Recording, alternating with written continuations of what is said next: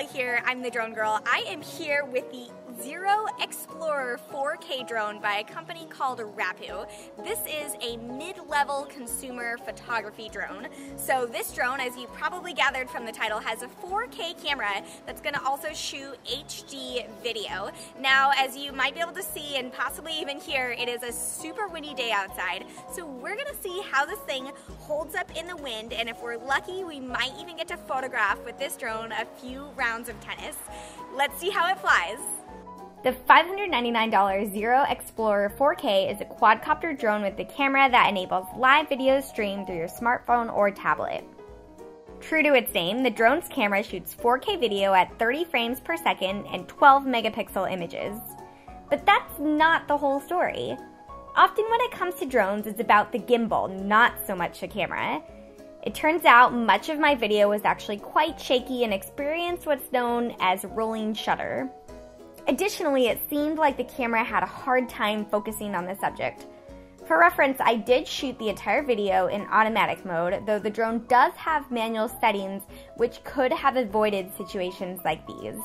But for consistency, I shoot all reviews in automatic mode since that's typically what first time pilots would also fly in. The gimbal did a lot better when pointing down, which you can see in this clip. It also did a lot better at lower altitudes, such as this selfie shot of my friends. But at high altitudes, like the shot of the trees of the city, it just didn't work. It was super easy to take off, land, and fly. Felt totally safe the whole time, which is a big metric that I care about.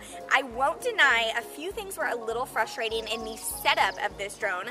Uh, to begin with, uh, you'll see that this is a modular camera, um, which I really like because you can take it on and off, um, but I had a little trouble figuring out how to connect it as well as the battery. It took me a couple tries to figure out how to lock. I always compare to things like DJI, and the DJI camera just fits right in there this one, it took a little bit of fumbling, um, and then I did have a little bit of trouble connecting the drone to the Wi-Fi. Um, it ended up being a different password than what the instruction manual told me, and I had to look up. Of course, there's tons of great drone forums out there where I was able to get the information, but those little things along the way can be really, really frustrating to the user experience.